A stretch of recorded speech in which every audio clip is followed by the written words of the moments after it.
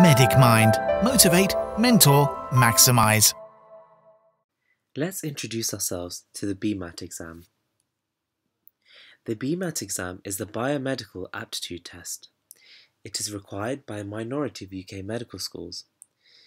This includes Oxford, Cambridge, UCL, Imperial, Brighton and Sussex, Leeds, and Lancaster.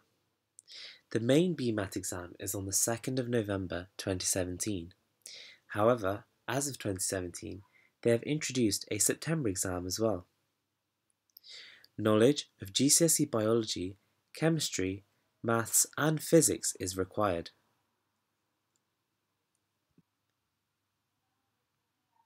So should I take the BMAT? There are a number of factors you need to consider whether to take the BMAT or not. First of all, your UK CAT score. If you have a really strong UK CAT score, it means you should try and apply to UK CAT universities. This is because you should always apply using your strengths. A good UK CAT score will mean you should apply to UK CAT unis. A poor UK CAT score will mean that you should look at non-UK CAT universities and perhaps BMAT universities too. Now you may be thinking, what is a poor UK CAT score? It really does depend on the cohort. Anything below 600 or 630 to 650 is usually regarded as a low score. Anything below the 8th decile is also fitting into this category.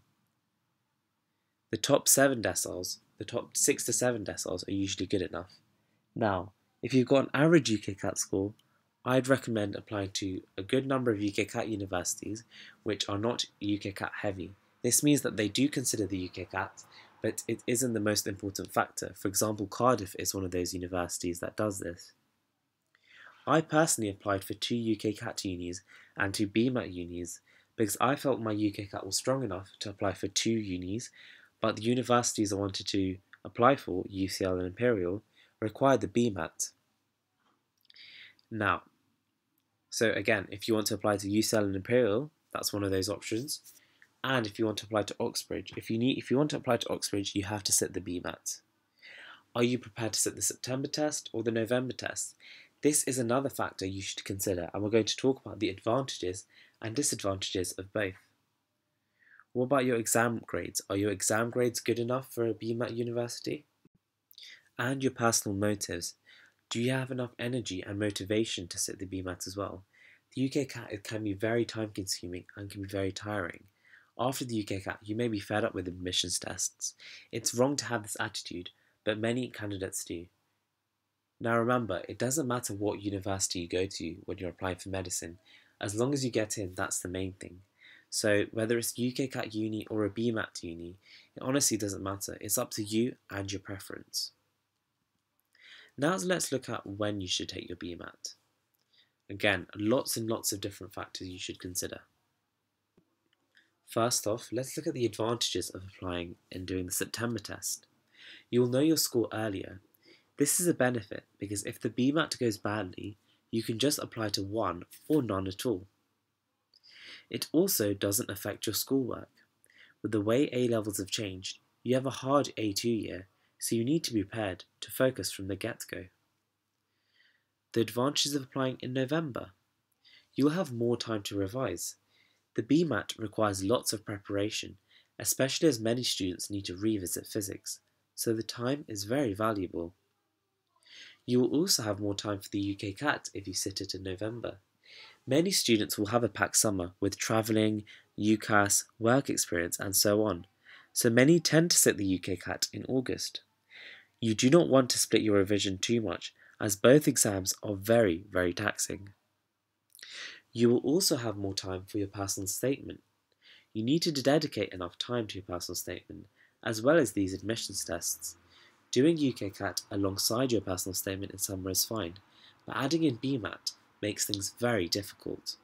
You could also argue that you'll have the time after the SEPTA BMAT to write your personal statement as well. Another advantage of doing it in November, you're likely to do the BMAT anyway. If you do terrible at the UK CAT, then you will not want to apply to four UKCAT universities. If you do brilliantly at UKCAT, you'll feel more confident to apply to BMAT universities. So either way, you might consider BMAT quite strongly. It is a risk, but with more preparation, you are less likely to do badly in the BMAT. At the end of the day, there is no right answer, and it really is based on a number of factors, including your timetable for summer and term 1, how strongly you want to go to a BMAT university, your confidence in your BMAT abilities, your UK CAT score, and if you're applying to Oxford. Now, you must remember that Oxford does not accept the September test. You should also think about whether you need to re-revise physics. If you do, sitting the November exam might be a better idea because it will take a lot longer. In summary, these are the points I have raised on the previous slide. Have a read. Okay, so now we're going to be looking at each section of the BMAT just to see what they require and how long they are. The first section will test your aptitude. It will involve 35 multiple choice questions in 60 minutes. This equates to about 103 seconds per question. There are various question types, including mathematical questions, verbal reasoning questions, and spatial reasoning questions.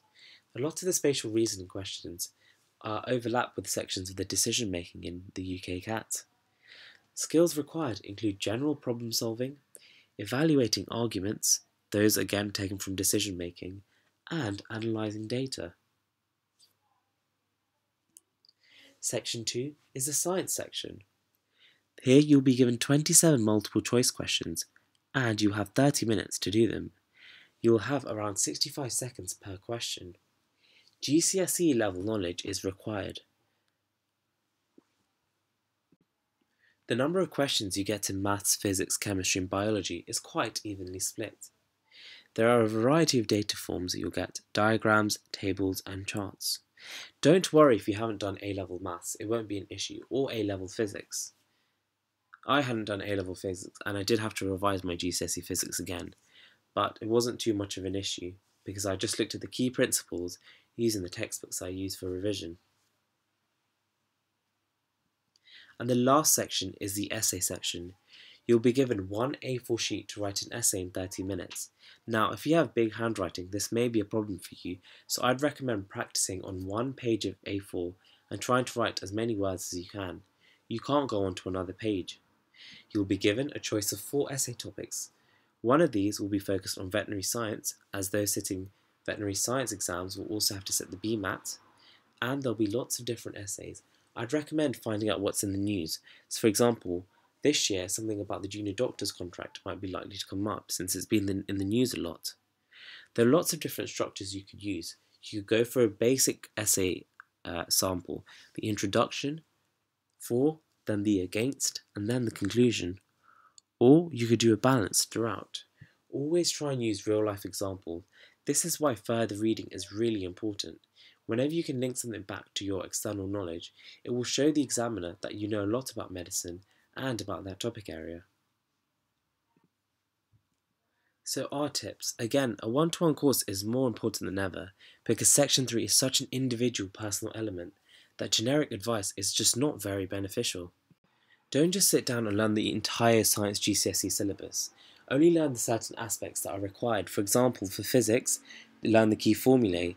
Try and go over the specification that you learnt and learn the main core principles of each. Don't stress too much about physics because the, at the end of the day, they're only testing your GCSE skills and these are topics you will have already covered. It's more just going over your previous knowledge. For section 3, practice making essay plans and write around 20 essays in full. Try and get as many of these marked as you can by your teacher or anyone you may know. If you haven't watched the news throughout your past year, then tactically research case studies, think about what is likely to come up. If you are stressing, focus on the BMAT and catch up on schoolwork and Christmas. Your exams will be at the end of the year, but the BMAT is in November or September, so prioritizing the BMAT around that time can be a risk that you might have to take. And aim not to apply to more than two BMAT universities unless you're sitting the exam in September because it can be a massive risk. That is, of course, unless you feel confident you will do well in the BMAT.